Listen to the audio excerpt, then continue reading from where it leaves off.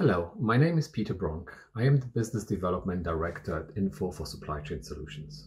I'd like to welcome you to this year's 600 Minutes event with topics focused around agility, reliability, and sustainability. Speaking to our customers over the last 12 months, I know that many of them had particular challenges in the supply chain. Some of those could include cancelled orders, fulfillment challenges, or rising transportation costs.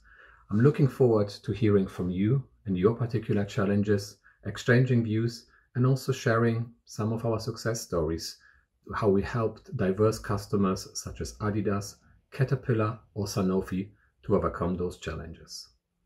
Have a productive event and a safe 2021.